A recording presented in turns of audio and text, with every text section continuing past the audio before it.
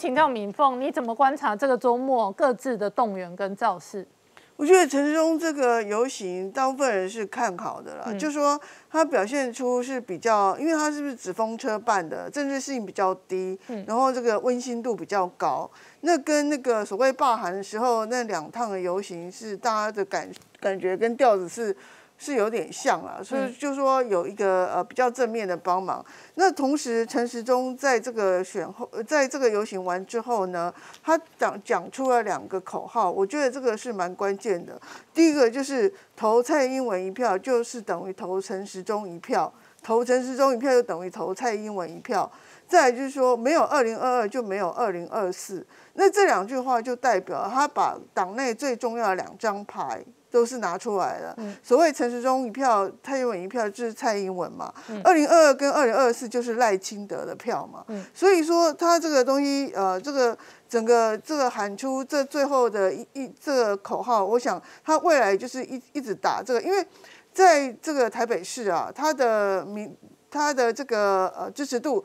跟这个上次总跟蔡英文比起来，还是少了一点啊。所以他用这个蔡英文的支持度来拉抬自己的声势，这个是合理的啦。那因为他这个所谓的呃，在台北的所谓呃讨厌度好像比较高，所以他就用了蔡英文嘛。那相对于赖清德，赖清德这次是助选的一个非常重要的人物，很多人那个。可我看他都去中南部哦。我特别观察到，昨天这一拖都是英系，是陈建仁去，那赖清德没去哦。对，但是可能赖清德有去桃园，有去台中啊，什么那个呃花东啊、南部啊，通通都有。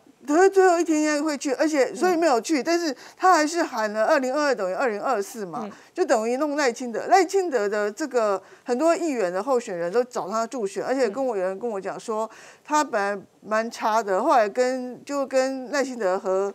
和录那个电话录音之后，声势有比较好，而且有一个绿绿色电台，全部排下来都是跟赖清德的那个录音拉票，结果他就这个电台就去跟那个议员说：“哎，你们可不可以？”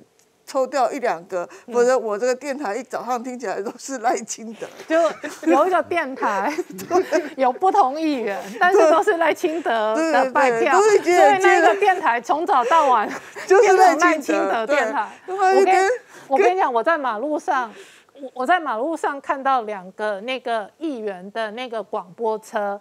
然后都是赖清德用台语拜票，在台北街头，台北街头那个非常明显就是在诉诸铁票，对对对但是都不是议员本人哦，都是关系罗清店，然后整整整整就开始讲一大堆。对啊，那个电台就很伤脑筋啊，因为他这样听起来都是赖清德没有差别，所以就叫他们换几个人呐。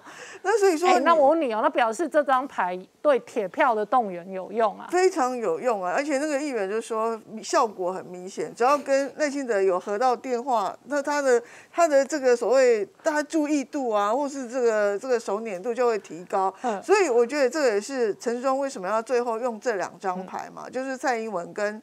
跟这赖清德，因为蔡英文本来就是他的老板啊。黄珊珊的晚会好像也是这个礼拜在台北要举行。黄珊珊昨天的场子还有一个特殊人物，叫做黄国昌。对，黄国昌上去帮黄珊珊站台。对，所以说时代力量可能也会裂解吗？时时代力量早就裂解了。有一些人是很讨厌柯文哲的，但是。黄国昌昨天是挺黄珊珊，时代力量已经裂解了，因为讨厌柯文哲都跑了嘛，像那个哦，你说林长佐闪掉台，心酸了。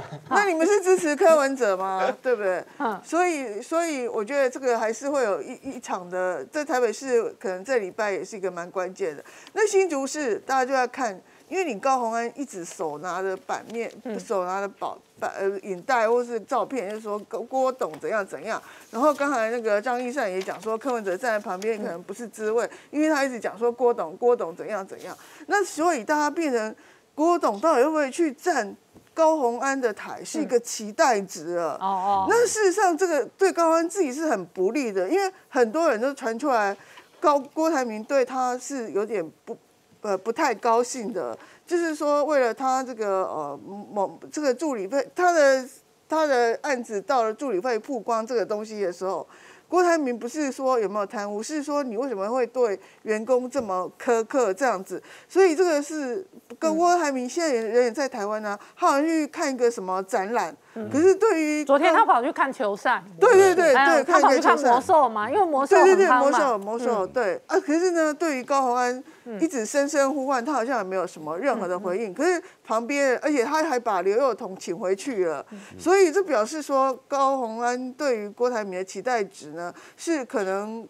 大家拉高拉高了提期待值之后，如果郭台铭没有相关的回应，到最后没有出现的时候，反而是害了高鸿安自己啊。好，那敏凤，我跟你讨论了最后的关键五天哦，所有的议题事实上哦都会打得非常的激烈，而且版面会有排挤效应。就你刚刚讲，比方说柯文哲如果抢版面，高鸿安的版面都会受到影响。然后陈时中的造势当然有画面有版面，那相对上蒋万安没有大花的，蒋万安的版面也会遭受到排挤。那最后五天这样的肉搏跟攻防哦，会影响到最后的投票行为或者催票的投票率吗？我觉得，我觉得呃，基本盘呢，我觉得基本上已经吹的差不多了。现在吹的就是年轻，还有一些中立选民，本来不想投票的人，这几天因为吹的太热了，这个热度已经起来了，明显看到。这个呃，想要表达意愿去投票的人比以前问起来的时候多嘛？就是说以前问那个不认识呃，问朋友就说要不要去投，他们说哪一天投啊？不知道。可是你现在问朋友，朋友就说我一定去投。那这对这些人，他们会看什么？哎，有人就会老老实实说，我选前去前一天我就把证件拿出来看。有人在看证件投票也是有啊。然后有人就看这种氛围，所以这种陈世忠昨天那一场的氛围就很重要。所以。讲万安也是要造势的，最后在凯道那一场也是要造势的，所以这个团结氛围对大家现在最后就是拉多少年轻人跟拉多少中间选票出来投票，这个是三个阵营头非常重要的重点。那如果这一块拉得出来，投票率才能拉高。拉高对，而且可是现在如果你是中立人就算，但是如果是你拉年轻人，现在民党有点就是进退两难，他如果拉高年轻人这一块的时候。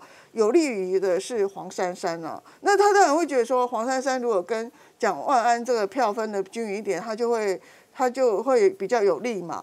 那可是问题是，如果年轻人把黄山拉太高了，那到底有利不利，在大家也不晓得会不会赢过这个陈时中。